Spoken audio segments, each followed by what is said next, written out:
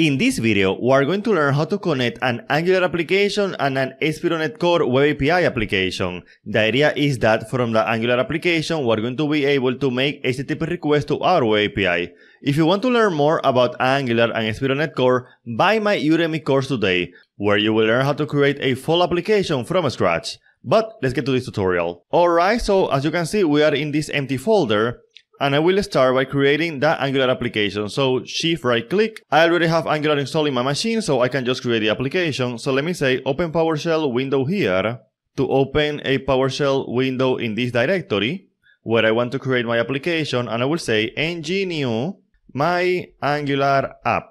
Enter. And while this is being done, I will open Visual Studio to create my web API. Alright, so here we have Visual Studio. Let me say create a new project I will look for the template of Web API. So let me say here Web API. I will select this one. Next, I will select my current directory, which is this one. So let me copy this and paste this here. And I will put a name, my Web API. Next, for this tutorial, we're going to be using .NET 9 and we're also going to be using controllers. So let me say create.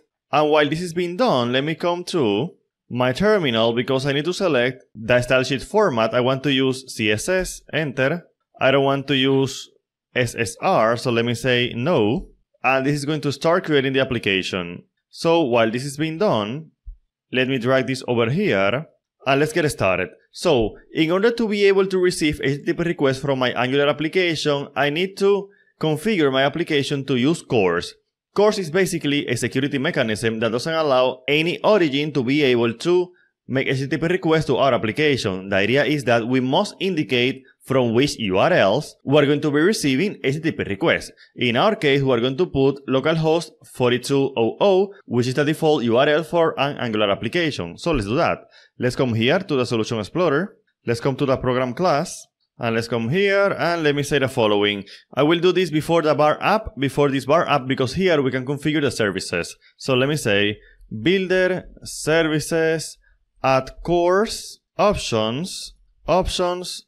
I will add a default policy, policy, and in here I will put that policy. I will say policy dot with origins and in this with origins, I can pass the URLs that I want to allow to make HTTP requests to our application. So I will do that in just a moment. Let me say allow any header because we want to allow any kind of HTTP header and also allow any method. That is for, for example, HTTP get, post, put, delete, patch, etc. So semicolon here. Alright, and let me put a semicolon here. Now, I don't want to hardcode here the URL of my Angular application because, for example, in production, we may have another URL or we will have another URL. So what we're going to do is that we're going to use a configuration provider.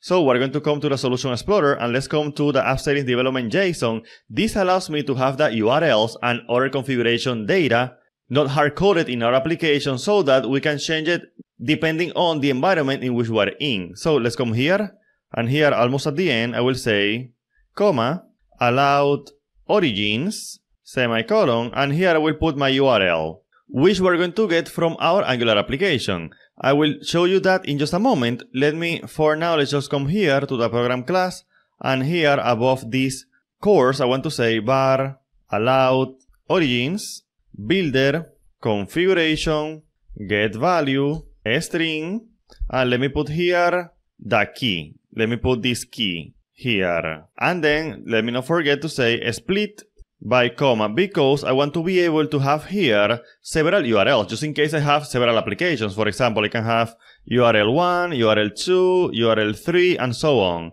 So, although in our case we're only going to have one, I want to have that possibility here. So, split by comma. Alright, and then I can pass here allowed origins. Alright. So now let's come to Angular. Let me come here let me come to this directory, to the cd my Angular app code dot to open this project using Visual Studio Code. Of course, you can use whatever text editor you want to use, but in my case, I prefer to use Visual Studio Code for front-end development. Alright, so here we are. Let me say control back tick or just come here to terminal, new terminal, because I want to run my application, because I want to get the URL, so that we can put it on the web API. So ng serve-o. ng serve-o basically allows us to run our Angular application and automatically open my default browser with the application on. Alright, I will say no. Awesome, we have our Angular application here, so let me copy this URL. Let's come back to Visual Studio Code, and let's come here, and let me paste this here. I like to remove the last slash, so this is done. This will pick up that URL. And after this, let's come down here because we have to configure a middleware. So let me come here and I can do that here. App use CORS Alright, so now I can press Ctrl F5 to run my application, because now I want to get the URL for the web API and put that into my Angular application. Alright, so here we are, let me get this URL from here, and let's come to Visual Studio Code, because I want to use a file that will allow me to have one URL in production and another URL in a development environment. So in Angular, we do this by using environments. So let me create a new terminal, I can click here, and this will allow me to have two terminals. I have here the application running and here I have where I can write commands. So let me say here ng generate environments. Alright, and as you can see, this created two files, but also it modified the Angular JSON file, which means that in order for these changes to take effect into our application, we have to stop it and run it. But we're going to do that in just a minute. For now, let me come to the environment development file and as you may imagine, this one is for the development environment. So let me minimize this and let me say here API URL. Here I can put the URL of my web API. I like to remove this from here and also let me do the same for production.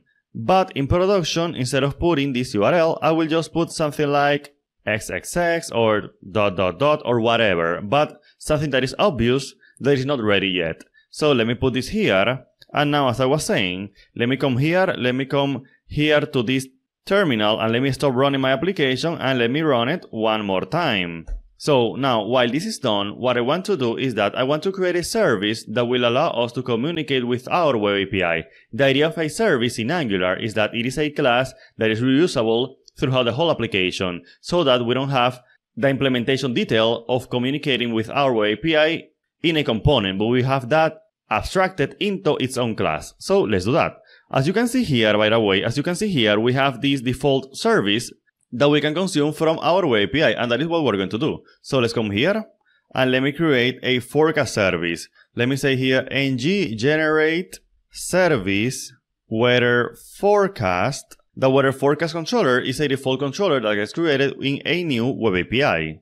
So this has been created, so let me come here, and inside of this class, I can use the HTTP client from Angular, but before using it, we have to configure. So let me come here to app config. Let's come to the app config file, because here I have to say provide HTTP client, which will allow us to use the HTTP client throughout the whole application. And I will use here with fetch, just in case we want to use SSR in the future, because as you can see here, as you can see here in this documentation, it is recommended to use fetch in the case where we use server-side rendering, so I just prefer to use fetch from the get-go.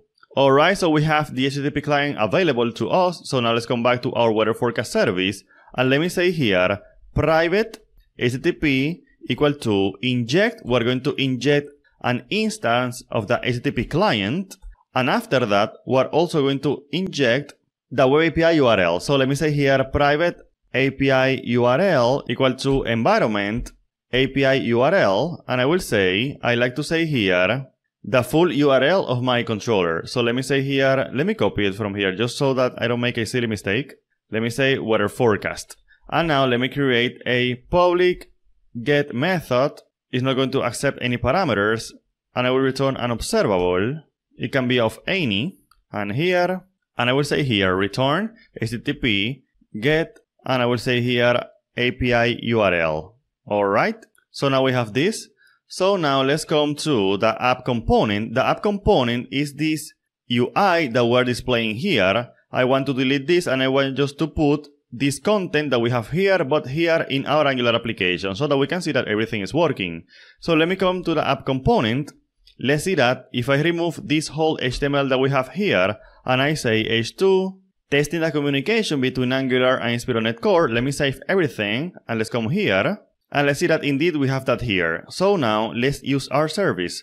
let me come to the class of this component, app component TS, and I want to inject my weather service. So let me say here, weather forecast service equal to inject, let me say weather forecast service, and I can use a constructor so that when we instantiate this class, we're going to fire up our service. We're going to say this weather forecast service dot get subscribe. We can use the following. We're going to say weather forecast. That's what we're going to get back from our web API.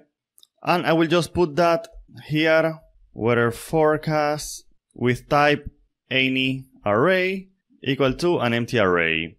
In the future, we're going to learn to use something called signals in Angular, which is more modern, but I want to keep things simple for this video. So let me just say here, this weather forecast equal to weather forecast. So what I'm doing here is that I am getting here a response from my web API and I am assigning that value into a property here of this class so that we can have access to this property from our HTML. So let's come to the HTML part and I will use a at 4. So we'll say weather forecast of weather forecast and in here I will say div, here I will say div and I will say date, weather forecast, weather forecast date, temperature in Celsius, weather forecast temperature in C. And by the way, this comes from, this comes from these properties that we have here. So I will just put summary in the end. So let's come here and let me say div summary. And finally, let me put here an HR just to have a division. So let me save. Let's come back to Google Chrome. And as you can see, we have here the same data that we have here in our web API, but now in our Angular application. So as you can see, we're able to establish a communication channel between our web API and our Angular application. If you want to learn more about building applications with Angular and ASP.NET Core, buy my Udemy course today. You can find a discount in the description of this video. Thank you.